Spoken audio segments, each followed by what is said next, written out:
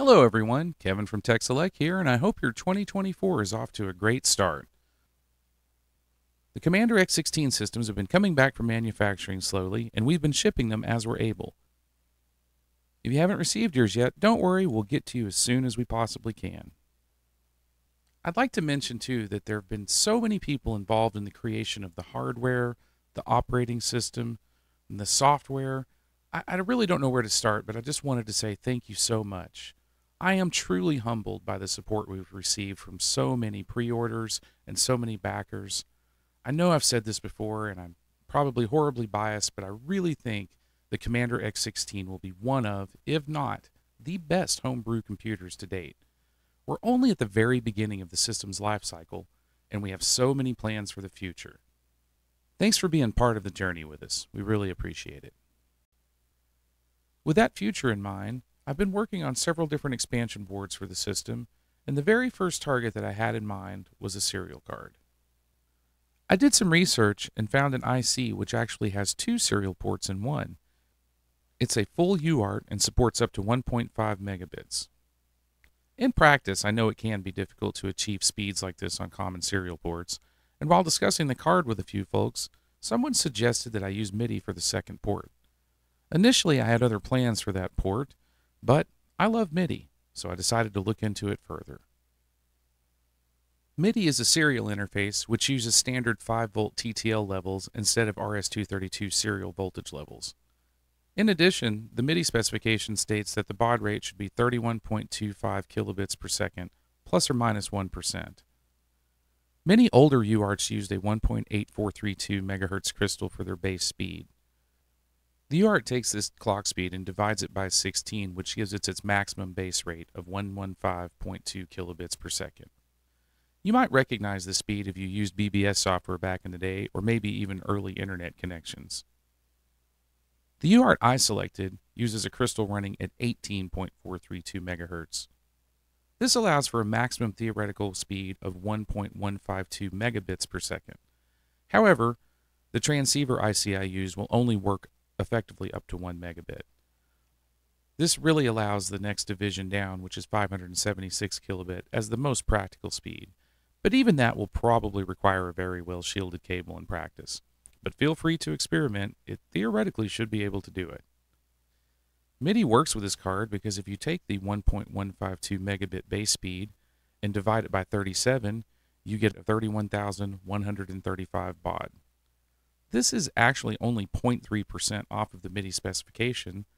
So now that I knew MIDI would work, I designed and I built my first prototype. Mooing Lemur was able to modify Melodius to send MIDI data to it. We had to work out a few issues, but it turns out we were able to make it work. I posted a video of that successful run not too long back, and someone had suggested in the comments, hey, why not add a wavetable header? And I thought, wow, that's a great idea. It's actually going to work really well because we can inject the audio directly into the X16's bus and out through the main output. So I went ahead and I made a second version of the card, and now I'm ready to show it on video. I'd originally planned to capture the video and the audio from the X16 directly.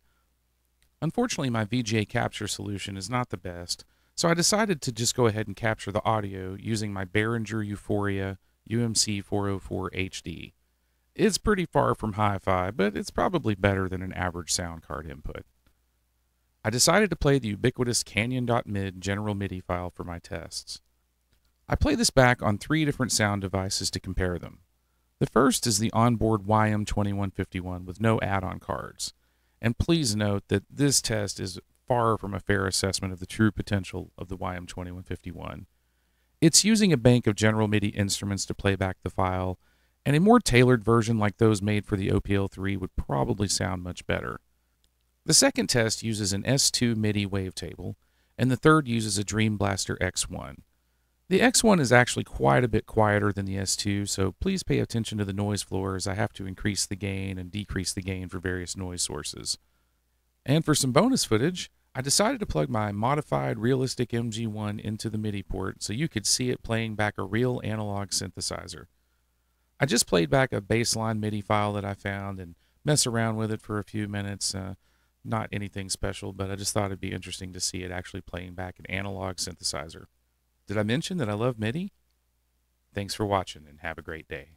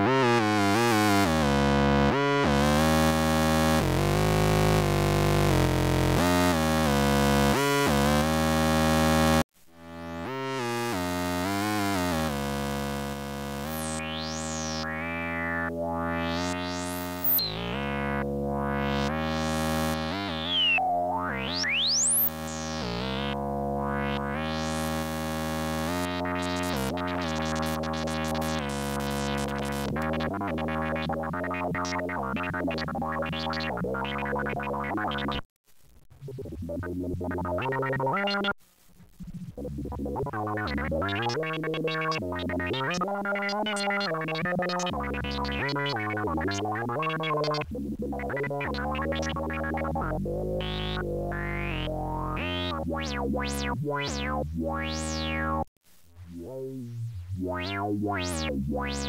wow, wow, Thank